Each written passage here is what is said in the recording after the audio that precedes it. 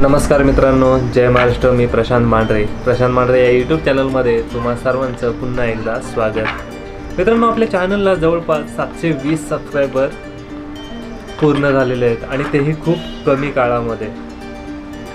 आणि याचं पूर्ण श्रेय तुम्हाला देतो. कारण जवळजवळ फक्त मी दहा ते अकरा व्हिडिओज या चॅनलवरती अपलोड केल्यात आणि या कमी टाईममध्ये तुम्ही मला जो प्रतिसाद दिलात तो खरंच खूप कौतुकास्पद आहे. त्यामुळं तुम्हा सर्वांचं मी आभार मानतो. त्याचप्रमाणे अशाच मी काही व्हिडिओ घेऊन तुमच्या भेटीला येतच राहील. तत्पूर्वी मी ज्या लास्ट दोन व्हिडिओ अपलोड केल्या होत्या गणपती रिलेटेड किंवा गणपतींच्या ज्या व्हिडिओ घेऊन मी तुमच्यासमोर आलो होतो त्यांनाही खूप चांगला प्रतिसाद दिला त्याबद्दल पण धन्यवाद.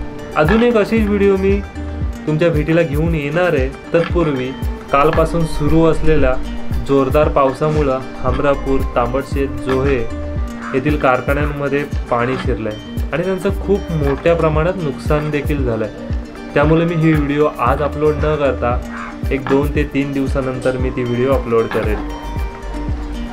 कारण त्यांची जी कष्ट आहेत मी आता तिथे व्हिडिओ करतो मी तिथे कारखान्यामध्ये जाऊन दिवसभर घालवतो.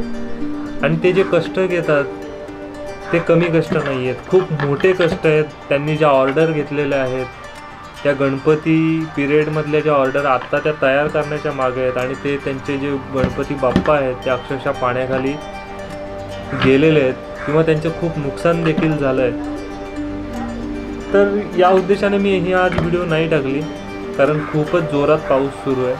आणि इवन पेनमध्येच नाही तर मुंबई बोला रत्नागिरी रायगड पूर्ण ठिकाणी पावसाने अक्षरशः धुमाकूळ घातलेला आहे. आणि ही जी हा ज- आणि आणि हा जो पाऊस सुरू आहे तो पुढच्या दोन ते तीन दिवस पडणार आहे असं हवामान खात्यानेही आपल्याला सांगितलं आहे.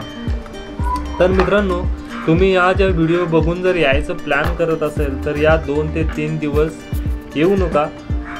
जर काही एमर्जन्सी काम असेल तरच घराच्या बाहेर निघा. अन्यथा घराच्या बाहेर पडू नका. कारण खूप भयानक अवस्था आहे. पुराचं अक्षरशः पाणी घरा घरामध्ये जाऊन पोचलेलं आहे. मीही देखील आज सकाळी शॉप ओपन करायला गेलो पण तिथे पूर्ण रोडवर पाणी भरल्यामुळं मी रिटर्न घरी आलो आणि हा ब्लॉग मी तुमच्या भेटीला घेऊन आलो. तर एक निर्वाणीचा इशारा किंवा एक खबरदारी म्हणून प्लीज अशा अवस्थेमध्ये घराच्या बाहेर पडू नका. खूप रिस्की आहे हे. जेव्हा पाऊस कमी होईल तेव्हा तुम्ही घराच्या बाहेर पडा किंवा पूर्ण पाणी ओसरला न्यूजला तुम्ही पाहतच असाल. या सगळ्या गोष्टी नियंत्रणात आल्या की आपण आपलं काम पुढे करू शकतो.